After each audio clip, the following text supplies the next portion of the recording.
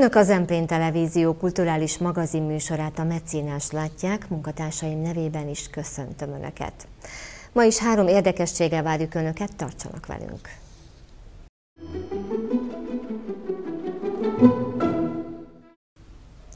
A Kazinci Ferenc Társaság több mint 200 fős tagságát nyelvészek, irodalmárok, pedagógusok, múzeumigazgatók, közgyűjteményi dolgozók, írók, újságírók, költők és más kulturális területen dolgozó szakemberek alkotják. A szervezet működésének elmúlt évtizedei alatt több mint 160 kötetet adott ki. A legfrissebben megjelent könyveket a társaság az elmúlt hétvégén tartott közgyűlések keretében mutatták be. Idén jelent meg a Szép Halom évkönyv 28. kötete, Frid István a nyelvújító életét, munkásságát bemutató sorozatának ötödik könyve, illetve Nyíri Péter nyelvtarisznya, a magyar nyelvből született eszéket tartalmazó könyvét is megismerhették a jelenlévők. A Kazinci Ferenc Társaság a Kazinci kultusz ápolásának legmeghatározóbb szervezete.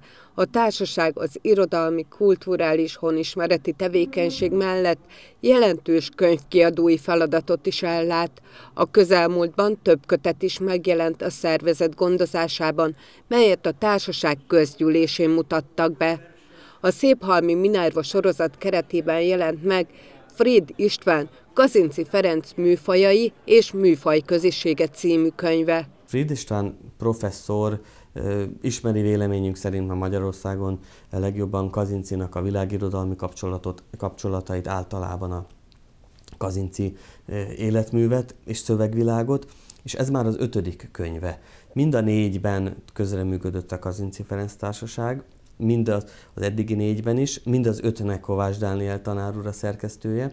Az egyik kötetet a Győri Kazinci Gimnáziummal együtt adtuk ki, és azért fontos ez, mert Fried professzor, akinek a legújabb kutatási eredményeit az egész kazinci kutatás keresi ilyenkor, és örömmel, érdeklődéssel fogadja. Nos, hogy ez a egyébként nemzetközi hírű professzor a Kazinci Ferenc Társaságot választotta műveinek kiadójául. Nem ment el a nagy országos kiadókhoz, és nyilván nem említünk tudatosan neveket, hanem azt mondta, hogy itt van a Kazinci Társaság, amely valóban a legélénkebben ápolja a Kazinci kultuszt, én odaadom a kiadványaimat és hát mondtuk tréfákozva, hogy 20 kötetesre tervezzük ezt a kötetsorozatot. Reméljük, hogy megvalósul, de az biztos, hogy, és ezt el is mondta Fried professzor, hogy a hatodik kötet első három kiad, vagy szövege már itt-ott megjelenik, már sajtó alatt van, tehát valóban készül a hatodik kötet is. Ez egy ünnepi kötet, hiszen Fried István Irén ünnepli a 85. születésnapját, ez alkalomból köszöntöttük is. Úgyhogy ez a, a Kazinci kutatásnak egy jeles műve, és valóban így van, hogy amikor megjelenik, akkor keresnek minket a Kazinci kutatók Debrecenből máshonnan, hogy küldjünk könyvet, meg szeretnénk vásárolni, hol lehet megvenni Fried professzor legújabb kötetét. Ez nagyon nagy fegyvertény, és hát a Kazinc Ferenc Társaság tudományos munkáját is mutatja. Másrészt pedig mi, amikor kazinci kultúrusról beszélünk, akkor persze elragadtatással, patetikusan szólunk kazinciról, de ahhoz, hogy ez hiteles legyen, ehhez az kell, hogy meglegyenek a tudományos alapjai. Hogy amit mi mondunk olykor nagyon ünnepélyesen, annak azért a tudományos háttere meglegyen, és ezt a tudományos hátteret az ilyen szövegek adják meg, mint Frid Istvánnak a nagyon pontos tudományos felvételzettséggel megfogalmazott szövegei. A Kazincit bemutató írásokat, irodalomtörténeti, művelődéstörténeti, helytörténeti és néprajzi munkákat tartalmazó Széphalom évkönyvet első alkalommal 1986-ban adta ki a társaság, idén pedig már a 28. kötete jelent meg.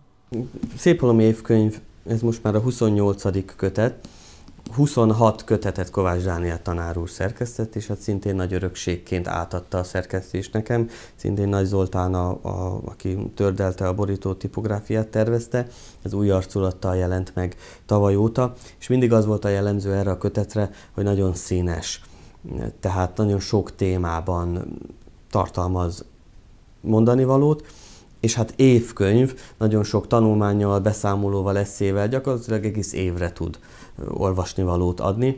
Az elmúlt években is mindig azt mondták a kötet méltatói, vagy akár a kiadói, a szerkesztői, hogy nem feltétlenül egyszerre kell ezt végigolvasni. Idén ez a kötet közel 500 oldalas, nem is lehet egyszerre végigolvasni, az ember időnként előveszi, és aztán talál benne fontos gondolatokat. És azért nagyon fontos, hogy ebben a kötetben mindig van jó néhány olyan kiad, megszólalás, tanulmány, amely azért országosan is figyelemre méltó.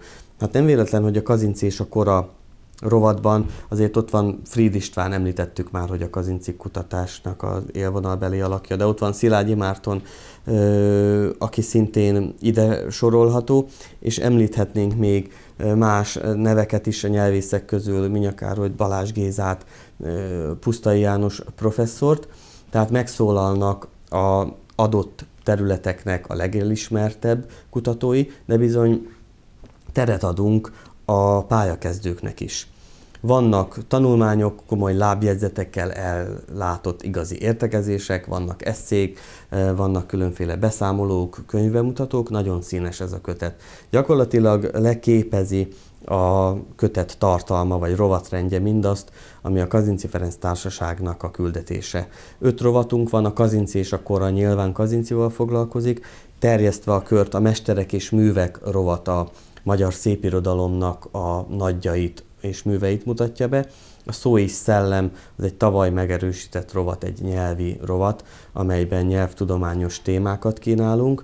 A história és hagyomány, a történelmi ö, témákat dolgozza fel, a számadás és a szemle rovat pedig könyvemutatókat, ö, eszéket tartalmaz. Alliteráló címeink vannak, KKMM, ezt ö, még Kovács Dániel időszakából hozzuk, mutatja azt, hogy a Kazinci Ferenc társaságban, amikor költői hevületű emberek is vannak, valóban van sok olyan alkotónk, taktársunk, aki verseket is ír.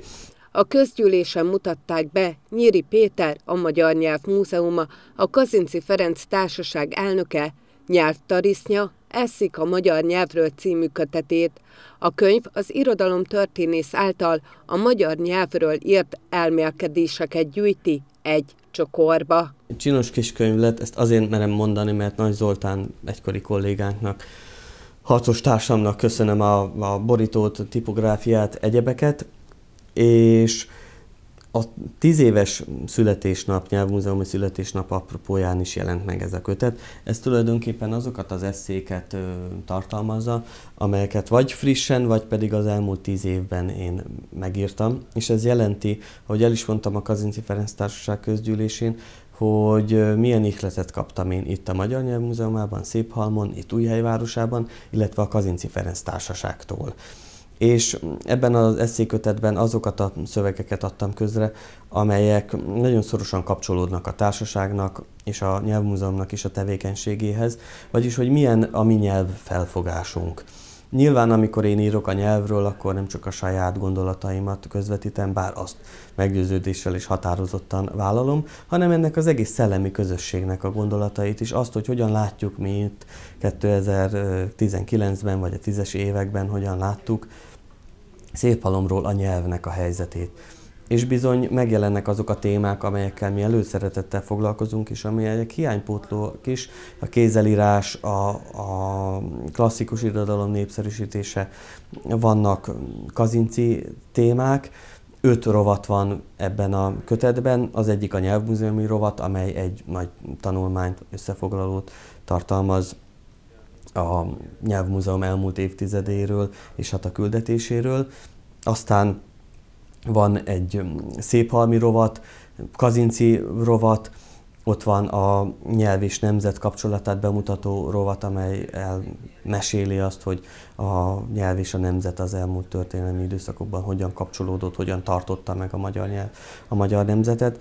És van egy, hát a, a nyelv és cselekvés rovat, amely szintén egy fontos témánk, és kedvenc témán Kovács Dániel tanár úrral is. Tudnélik, hogy a nyelv használat akár kimondott vagy leírt szóról van, szóval az bizony cselekvés, mely felelősséggel jár.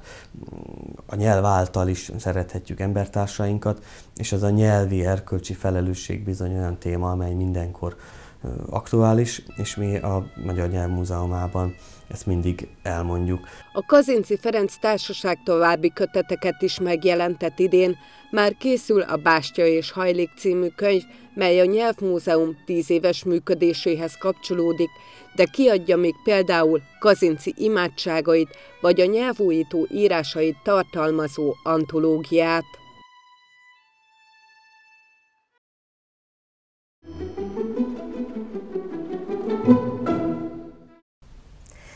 Két évtizedes múltal rendelkezik az a szakmai találkozó, amelynek helyszíne ismét Zemplén volt. A Sárospataki Református Kollégium tudományos gyűjteményeinek nagy könyvtárában köszöntötték az idei résztvevőket. Számos ország könyvtárvezetői találkoznak ennek a rendezvénynek a keretében, és olyan témakörökről cseréltek eszmét, amelyek nem csak visszatekintést és értékelést, hanem ezúttal a jövőnek is szóló üzenetet hordozott magában. Professzor dr. DNS Dénes a Sárospataki Református Kollégium tudományos gyűjteményeinek főigazgatója köszöntötte a Nemzetközi Könyvtáros Konferencia résztvevőit. Ez volt az első helyszín, amelyet a külföldi és hazai szakemberek meglátogattak Zempléni itt tartózkodásuk kapcsán. Dr. Monok István, a Magyar Tudományos Akadémia Könyvtár és Információs Központjának főigazgatója elmondta, két évtizedes múltra tekint vissza ez a kezdeményezés. Ez a találkozó tulajdonképpen most már több mint 20 éve minden évben egy vagy két alkalommal megszervezésre kerül.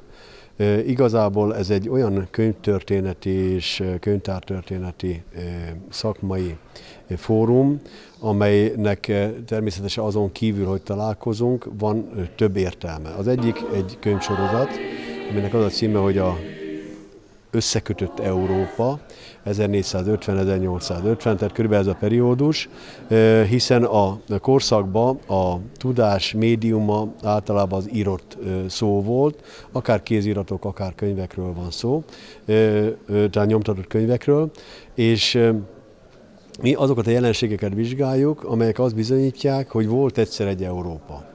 Volt egyszer egy Európa, amelynek volt egy öntudati alapja igazából ugye háborúztak egymással, adott esetben néha utálták is egymást, uralkodók, családok, nemzetek nem, mert még nem voltak nemzetek, ugye, tehát csak egy-egy valakihez való tartozás tudata volt, és volt egy nagyon közös tudat, egy nyugati kereszténységhez való tartozás. És ez egy nagyon fontos dolog, és ez nem azért mondom, mert arra akarok utalni, hogy vallásosak voltak az emberek. Persze egyébként, különösen a korábbi időkben, persze vallásosak is voltak, napi vallásgyakorlatot követtek, aztán amikor a reformáció elkezdődött, akkor ez bizonyos értelemben átalakult, különböző konfessziók, különböző vallások lettek, de a hit maradt ugyanaz, ugye a kereszténység, és annak is a nyugati keresztény ága. És miért mondom a nyugati keresztény? Mert a nyugati kereszténység az, ami Európát Európává teszi, Tudnék, a nyugati kereszténység egy olyan e, hagyományközvetítési mód, ami speciális, ami nincs a keleti kereszténységben, nincs a buddhistáknál, a hindiknél, nincs a, a e, muszlimoknál.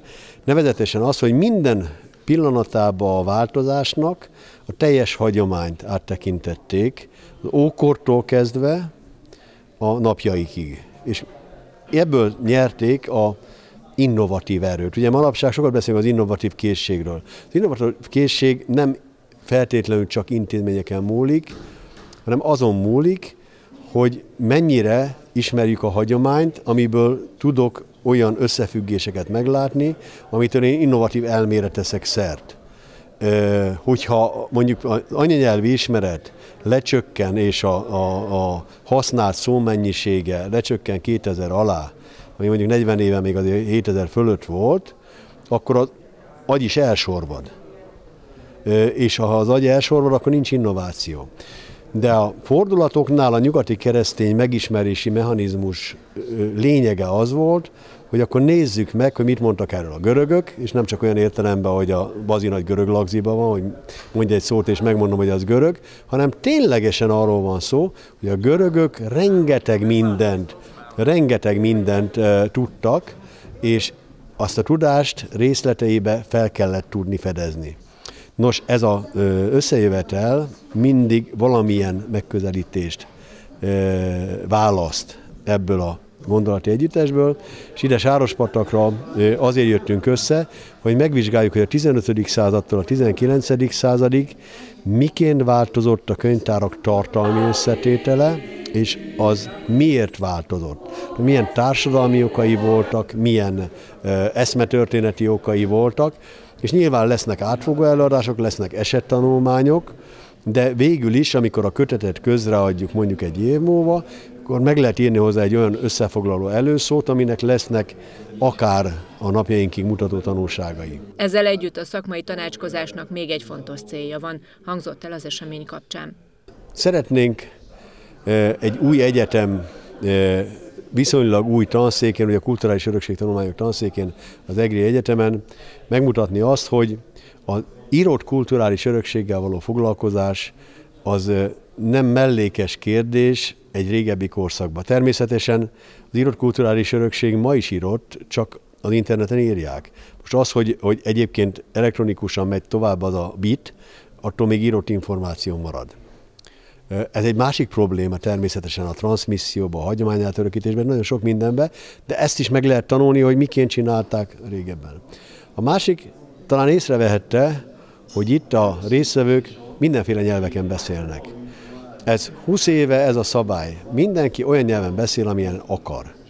De legalább négy nyelven a résztvevőnek meg kell értenie, hogy mit mondanak, és olyan nyelven teszi fel a kérdéseit, amilyen akarja.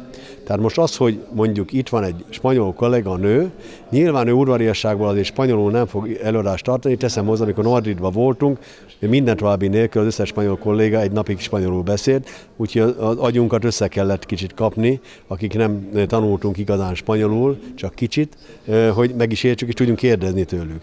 De az, hogy egy francia franciául beszél, vagy egy, egy olasz olaszul beszél, a német meg németül beszél, ez egy természetes dolog, Persze nekünk meg kell tanulni mindegyiket, de hát ez egy receptív kultúra, egy befogadó kultúra, hátrányba vagyunk. Ezt nem fogjuk kiheverni akkor se, hogyha hőbörgünk, akkor se, hogyha csapdossuk az asztalt. Ez a hátrány, jó, ide születtünk, ennek vannak előnyei is egyébként, de vannak hátrányai is. Viszont azt megmutatjuk, hogy az egynemű, egynyelvű angol használat az ugyanolyan romboló Európára nézve, mint az, hogy elfelejtünk olvasni, és csökken a szókincsünk. Mert a, ha angolul beszél mindenki, akkor mindenki redukálja a gondolatiságát, és nem tud olyan finom gondolatokat elmondani a másiknak, mint a saját nyelvén, vagy a kedves nyelvén.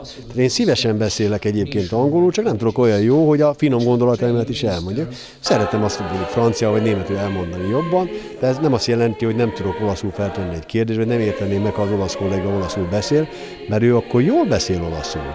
Nem zsugorítja össze az agyát, hogy angolul adjon elő. És ez szerintem egy jó gondolat, és ajánlom mindenkinek.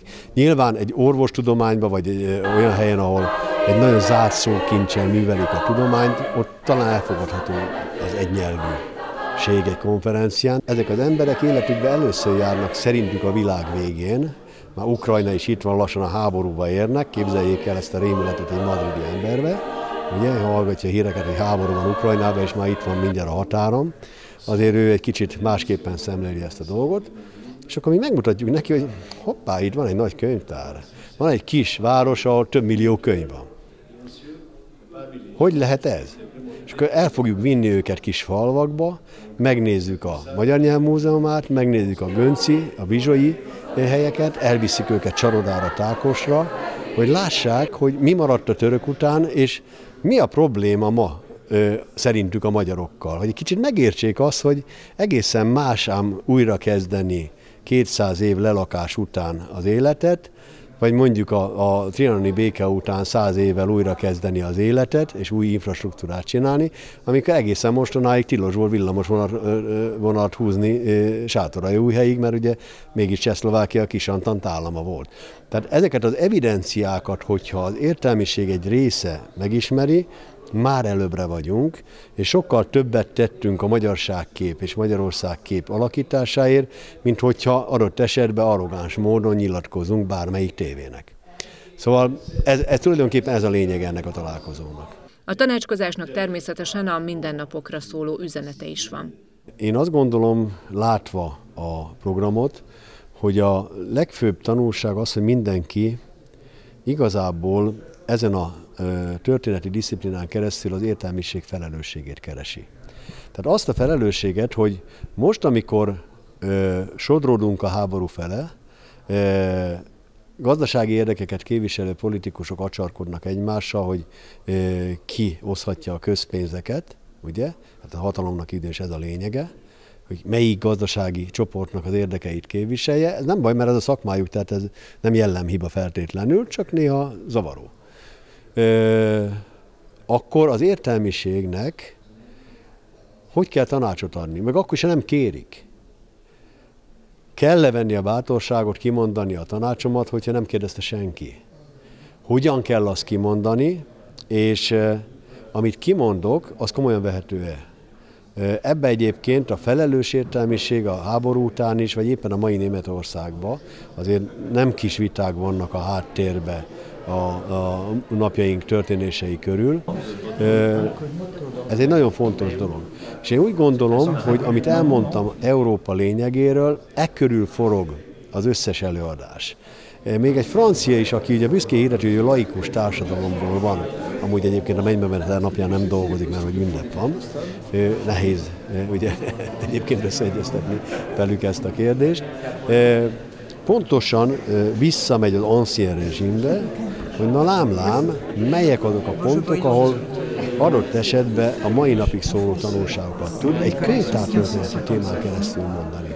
És azt reméljük, hogy egymást meghallgatva tudunk egy közös definíciót alkotni arról, hogy mi az Európa, szerintünk mit kéne igazából értékként továbbvinni, vagy súlykolni, vagy átadni határozottabban. Tehát mi ebbe bízunk. A szakemberek ennek jegyében ellátogattak Zemplén kulturális értékeihez is.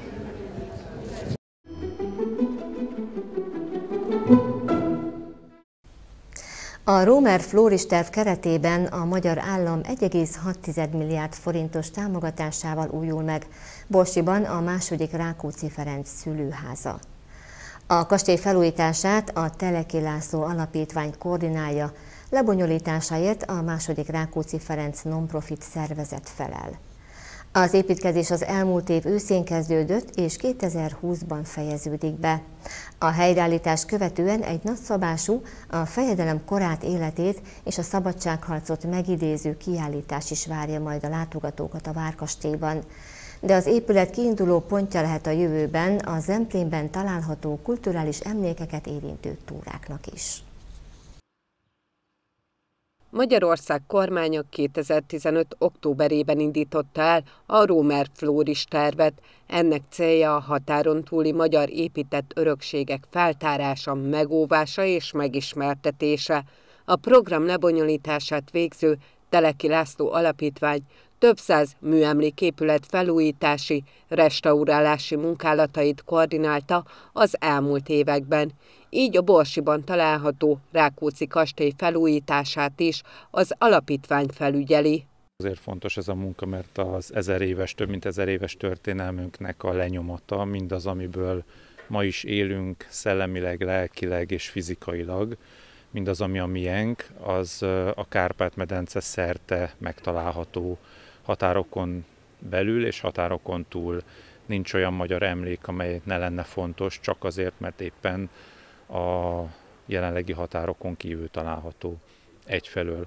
Másfelől pedig fontos azért, mert a határainkon túl ugyanúgy magyar közösségek élnek, és ha nekik fontos a magyarságuk, nekünk legalább annyira fontos kell, hogy legyen, hogy segítsük őket a saját örökségük, a saját emlékeik, a saját közösségük történetének a megőrzésében. Azt gondolom, hogy ez egy olyan feladat, amelyhez a magyar kormánynak mindig és mindenkor segítséget kell tudnia nyújtani, és éppen ezért az ilyen irányú feladat, az ilyen, az ilyen irányú munka, az, az, egy, az egy édes teher, az, az egy rendkívül jó együttműködés, mint ahogy itt Borsiban is, és a határon túli területeken, közösségekben mindenütt. A Rákóczi kastély helyreállításának első ütemére 805 millió forintos támogatást adott a magyar kormány. A rekonstrukció teljes összköltsége 1,6 milliárd forint, így a második ütemre újabb 800 millió forintot biztosít a kormány. A nagyságos fejedelem szülőházának felújítása 2018. szeptemberében indult, és a terveknek megfelelően halad ahogy ö, mögöttem látszik, most már a tetőnek a héjalása folyik, de ami nem látszik, hogy belül is a födémek elkészültek, és azt ígérhetjük, hogy április végére a szerkezetkész állapotot elérjük, és akkor onnantól aztán kezdődnek majd a szakipari munkák, ami hát nem kevés még, tehát azért sok-sok munka van ezzel, de az elképzeléseink szerint halad, és ez nem kis eredményes siker. Legutóbb beszéltünk arról is, hogy mindig a régészeti munka kapcsán felmerülnek még plusz teendők esetleg. Ezeket hogyan sikerült kezelni? A, volt igen ilyen, hogy a régészek találtak valamit, és hát akkor le kell ott azt a részt a munkáját állítani, de most már túl vagyunk ezen is, tehát most jelen pillanatban nincs olyan, ami, ami akadályozna minket, és hát remélem, hogy nem is merül még ilyen föl. Lesz még régészeti feltárás, de nem olyan helyen, ahol, ahol éppen folyik az építkezés. Mit mondhatunk el majd az eredményeképpen ennek a beruházásnak? A terv az az és a cél is, hogy ebben a kastélyban a Rákóczi fejedelmet és korát bemutató állandó, izgalmas, mozgalmas kiállítás valósuljon meg, majdnem az egész kastély területén. Lesznek persze múzeumpedagógiai termek, lesz rendezvényterem is, illetve a, a B épületet úgy tervezzük ezt a tőlem balra eső szárnyat, hogy ott szállása is legyen, úgyhogy hogy nem, nem kap egy, egy nagyon komoly funkciót a, a kastély, ami azért nagyon fontos, mert hogyha nincs funkció, akkor hiába állítjuk helyre.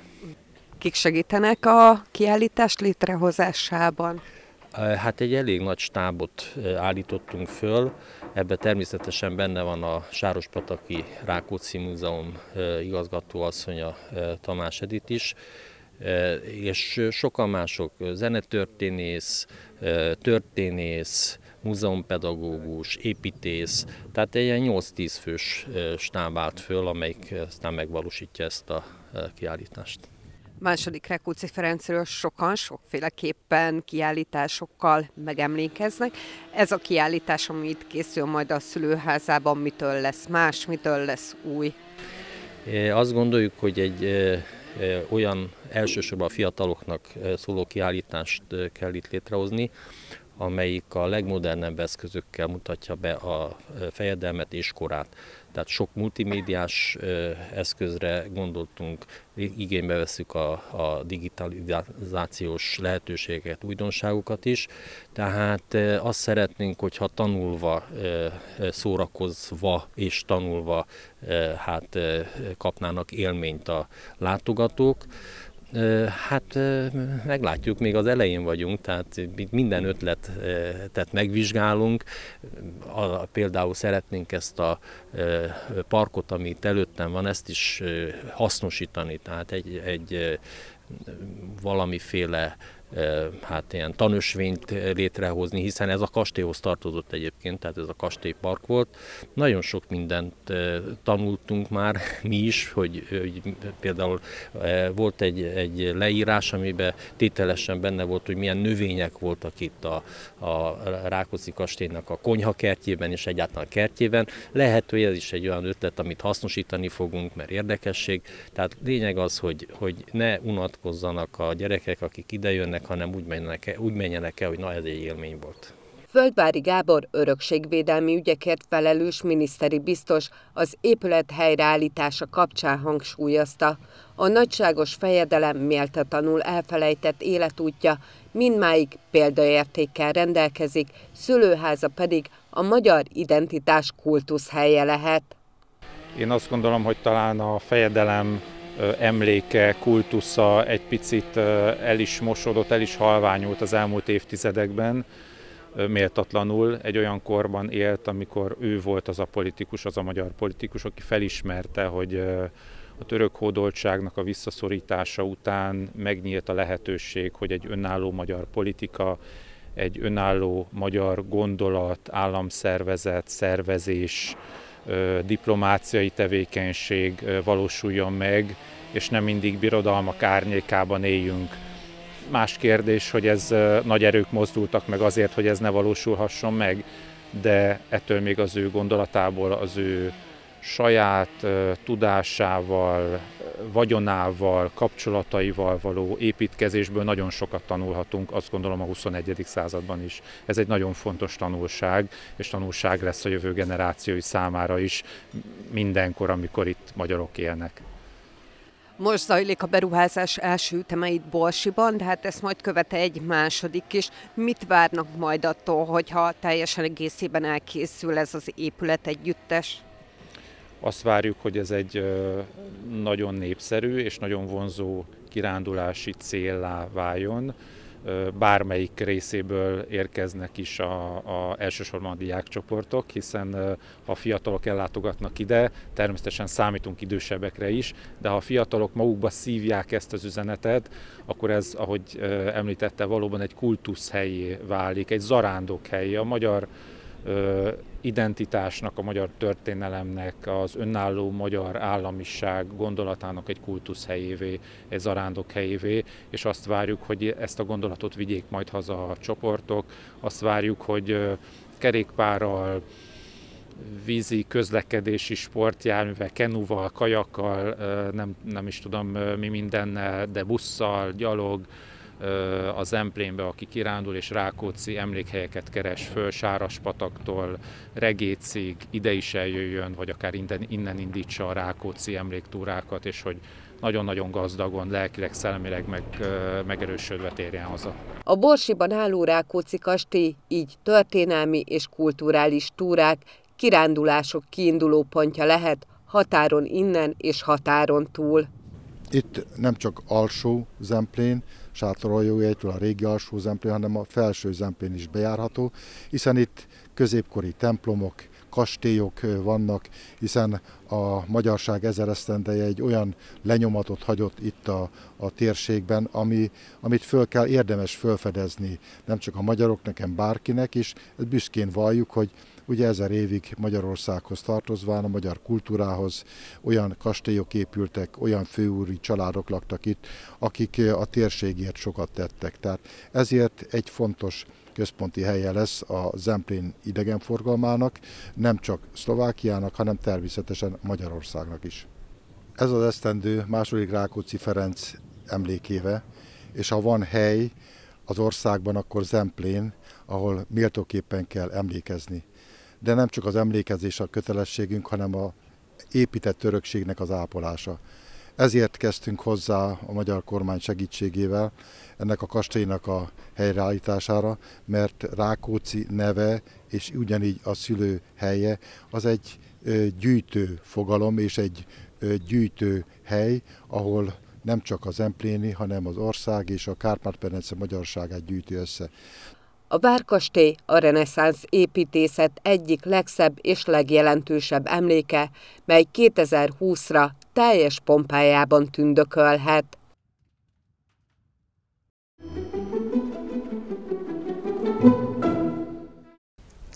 Kedves nézőink, Önök az Emplén Televízió kulturális magazinműsorát a Meccénás látták. Találkozunk egy hét múlva viszontlátásra.